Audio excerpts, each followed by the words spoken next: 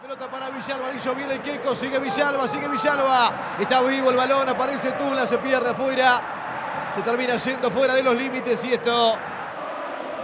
¡Uh! ¿No fue penal esto?